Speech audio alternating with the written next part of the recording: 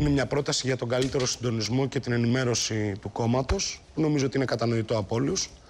Από εκεί και πέρα. Για να δεν μπλέκει το κόμμα με το κράτος. Άρχισαμε πάλι τα γνωστά παλιοπασογικά. Και γι' αυτό σας λέω ότι mm. δεν, δεν μπλέκει. Δεν μπλέκει, λέτε. Δεν μπλέκει. Mm. Γιατί είναι για λόγους συντονισμού και ενημέρωσης.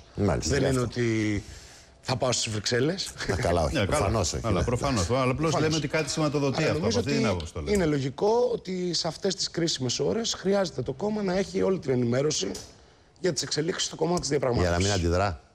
Όχι για να μην αντιδρά. Να απορροφά κραδασμούς γιατί; Να είναι ενήμερο. Μην, μην βρίσκεται.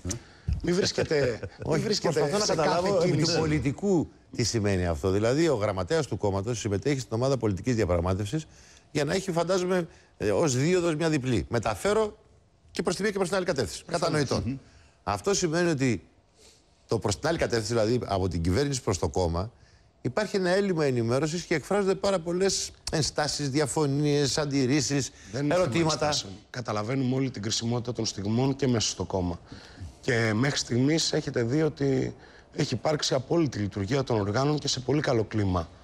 Ε, τουλάχιστον τη, όλη την τελευταία περίοδο. Πολιτική είναι. Ναι. Ε, αυτό που έχει σημασία και νομίζω ότι ο καθένας το καταλαβαίνει είναι ότι σε τέτοιες ώρες χρειάζεται το κόμμα ε, με το ρόλο που έχει, με την ανάγκη που χρειάζεται για τη στήριξη της κυβέρνησης, να έχει όλη την ενημέρωση. Για να το πούμε όμως έτσι με ειλικρίνεια, μπορεί ένας πολιτικός οργανισμός στον οποίο υπάρχει ένα μεγάλο ποσοστό, 30-35, μερικοί λένε και περισσότερο. Στελέχη του κόμματος επίσης κορυφαία κτλ. Πήγαινε σε άλλη κατεύθυνση. Ε, κύριε Κορona. Και στην κατεύθυνση τη δραχμής. Πήρε η κυβέρνηση. Μπορεί, λέω, αυτός ο πολιτικός οργανισμός να ενταχθεί σε ένα πολιτικό σχεδιασμό την ώρα που υπάρχουν αντιλήψεις που είναι σε εντελώς διαφορετικό. Εδώ δεν συζητάμε για επιλογές αν ο έμφυα θα έχει ε, αυτούς ή τους άλλους. Εδώ συζητάμε για κατευθύνσεις της χώρας. Η μία κατεύθυνση είναι Ευρωπαϊκή Ένωση και λύση μέσα στα πλαίσια της Ευρωπαϊκής Ένωσης, που είναι η κυβερνητική κατεύθυνση, και η άλλη κατεύθυνση βουλευτών, ορισμένων υπουργών και μιας ολόκληρης ομάδας στελεχών που είναι κοντά στο 1 τρίτο του κόμματος. Που λέει το ακριβώς αντίθετο.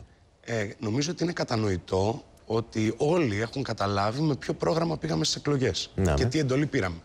Δεν πήγαμε με όλες τις απόψεις που έχουμε στο εσωτερικό μας να κατεβούμε στις mm εκλογές. Συζητήσαμε, καταλήξαμε, κατεβήκαμε με ένα πρόγραμμα στις εκλογές και η εντολή που έχουμε πάρει, η εντολή που έχει πάρει η κυβέρνηση, είναι απέναντι σε αυτή τη δέσμευσή της.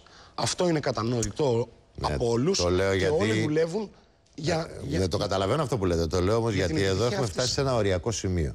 Ο Πρωθυπουργός χθες μίλησε για την ανάγκη δημοψηφίσματος. Το δημοψήφισμα. Με βάση τη συμφωνία. Με βάση τη συμφωνία. Πιστεύει ότι δεν θα φτάσουμε στο Ωραία. δημοψήφισμα. Με βάση τη συμφωνία. συμφωνία. Η συμφωνία λοιπόν. Μα με βάση τη συμφωνία θα γίνει. Η συμφωνία θα είναι ένα συμβιβασμό.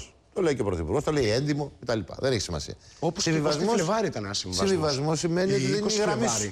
Η 20 Φλεβάρι ήταν ένα συμβασμό. Ναι. Η απόφαση της κεντρικής μας επιτροπής λέει ότι ήταν ένας δύσκολος συμβασμός.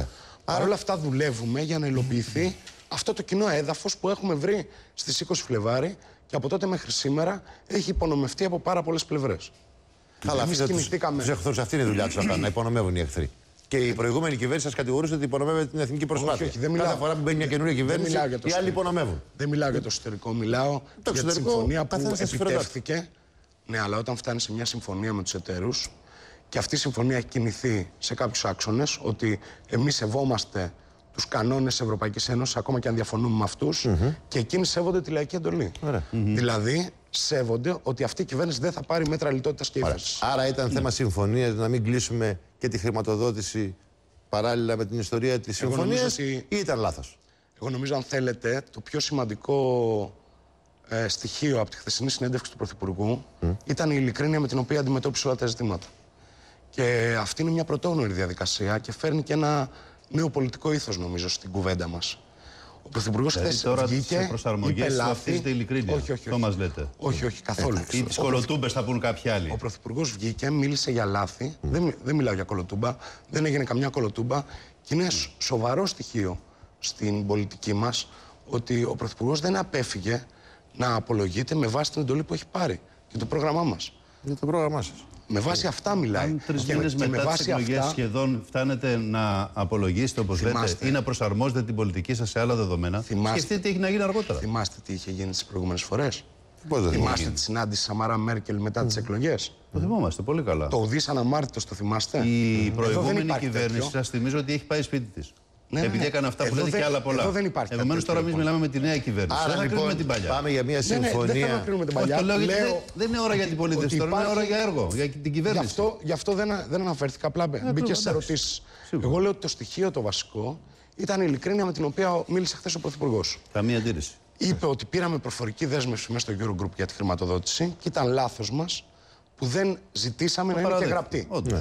Και νομίζω και η τοποθέτηση του Ευκλήου Τσακαλώτου χθες στη Βουλή είναι προς όφελος μιας κυβέρνησης να αναγνωρίζει και τα λάθη που κάνει και να τα διορθώνει. Ελάτε να ανοίξω την κουβέντα. Ε, κύριε ότι εσείς κανονικά δεν πρέπει να έχετε πρόβλημα, λέω ως παράταξη. Η κυβέρνηση προαναγγέλει, θα έλεγε κανείς στην πραγματικότητα, μια συμφωνία με τους εταίρους. Χθε ο Πρωθυπουργός είπε ότι είμαστε πολύ κοντά.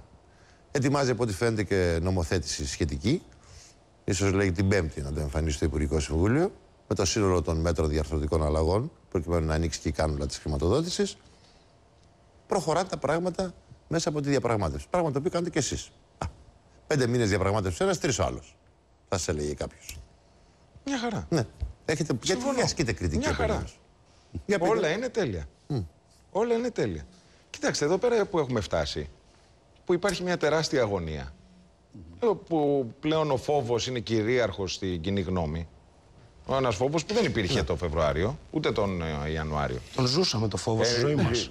Σας άκουσα, έχω ακούσει και τον κύριο Σακελαρίδη από το πρωί. Σας παρακαλώ. Ξέρετε. Ναι, ναι, δεν ναι. Αλλά, αλλά κάνετε ένα πρώτο σχόλιο για τη συνέντευξη του Πρωθυπουργού. Ε, όχι, όχι. το τι έμεινε από χθες.